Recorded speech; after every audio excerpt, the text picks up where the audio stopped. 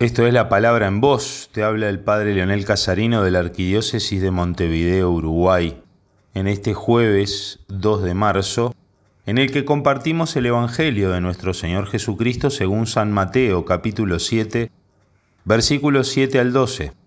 En aquel tiempo dijo Jesús a sus discípulos, pidan y se les dará, busquen y encontrarán, llamen y se les abrirá. Porque todo el que pide recibe, quien busca encuentra y al que llama se le abre. Si alguno de ustedes, su hijo, le pide pan, ¿le dará una piedra? ¿Y si le pide pescado, le dará una serpiente? Pues si ustedes, aun siendo malos, saben dar cosas buenas a sus hijos, ¿cuánto más su Padre que está en los cielos dará cosas buenas a los que le piden? Así pues, todo lo que deseen que los demás hagan con ustedes, háganlo ustedes con ellos, pues esta es la ley y los profetas. Palabra del Señor. Gloria a ti, Señor Jesús. En el camino de discernimiento, de crecimiento espiritual, de maduración que nos presenta la fe, la oración es uno de los puntales esenciales de este camino. Es como la columna vertebral nuestra vida está llamada a una continua transformación, a la conversión permanente, a la conversión día a día, a la invitación que Jesús nos hace a vivir en clave ¿sí? de evangelio, en clave del mandamiento nuevo del amor. Ámense unos a otros como yo los he amado. La conversión que nos habla de que seamos capaces de interiorizar la vida de Cristo, el Evangelio, hacerlo nuestro, encarnarlo, y así poder captar, descubrir la voluntad de Dios en nuestra vida, que no es otra cosa que la de recibir el amor de Dios, abrir el corazón, dejarnos abrazar por su amor y poder vivir ese amor en nuestras relaciones en nuestra vida familiar, en nuestra vida laboral, en el barrio, en la comunidad. Con esos tres verbos que aparecen en el relato del Evangelio, pedir, buscar, llamar, se nos invita a tener una vida de oración intensa, para que así el mensaje del Evangelio vaya calando en nuestras actitudes, en nuestros pensamientos, en nuestras obras. Y de esa manera podemos vivir el Evangelio con alegría, con entrega, porque hemos hecho nuestro el Evangelio, hemos hecho carne el mensaje de la buena noticia del Señor.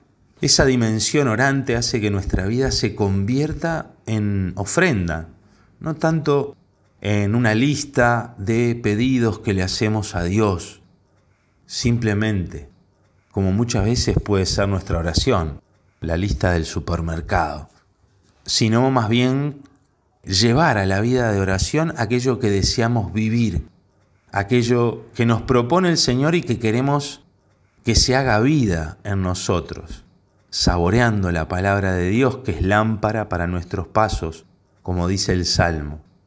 Y así encontramos que la luz que necesitamos en nuestro camino se manifiesta, se manifiesta en nuestra oración, meditando la palabra de Dios, como nos decía Jesús el domingo pasado, no solo de pan vive el hombre, sino de toda palabra que sale de la boca de Dios.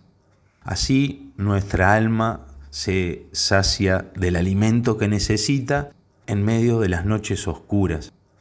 De esa manera, vinculados desde la oración a la palabra de Dios, el Señor con su gracia nos va transformando y así comprendemos el mensaje ¿sí? de las sagradas escrituras. Y de ese modo ya solo buscamos vivir el amor de Dios.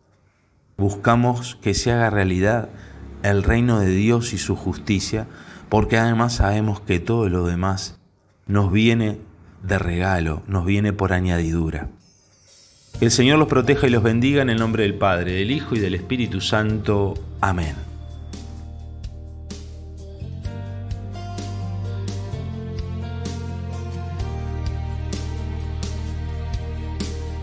Tu palabra es como aceite sobre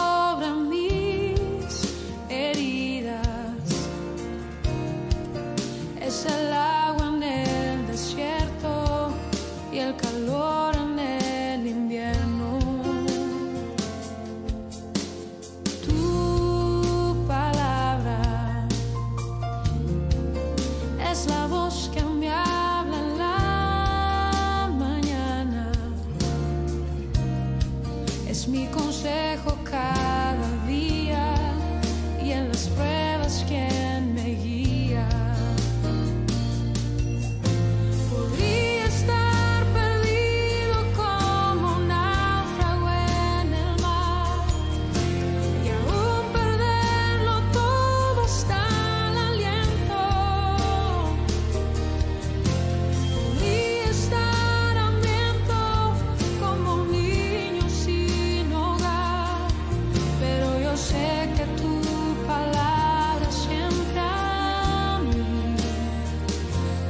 ojos tendrás.